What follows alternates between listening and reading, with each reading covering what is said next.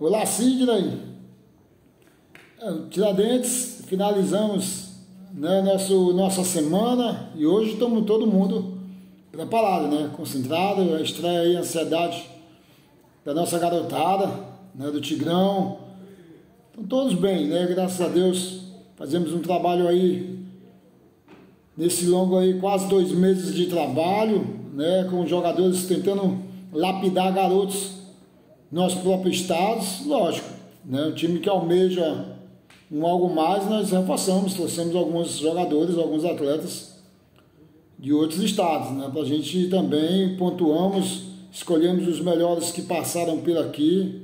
Infelizmente a gente sabe que a falta de condição de muitos pais de atletas, também os clubes nossos não têm essa, essa bala toda para bancar, né?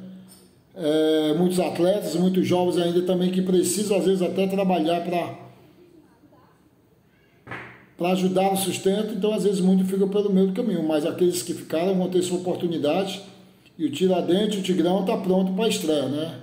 Respeitamos bem a equipe do Flamengo, sabemos também que lá tem, tem profissionais capacitados, tem toda uma história de seu Raimundo, né, lá na frente do Flamengo, mas também nós temos aqui o nosso legado, não só eu, como o Nildo, um cara vencedor já de sete Copas São Paulo, tem, tem o Danilo também, que trabalhou junto com ele nessa parceria do Atlético Clube, que viemos aqui agora agradecer o nome do Tiradentes. Né? Tem o Anderson também preparo físico, tem o Tatu também auxiliando na preparação física. Enfim, são uma gama de profissionais aqui para a gente tentar né, resgatar essa história do, do, do Tigrão. Com certeza vamos aí tentar é, estrear com o pé direito dentro da competição do Sub-20. Hoje, com certeza, nós vamos estrear com o pé direito.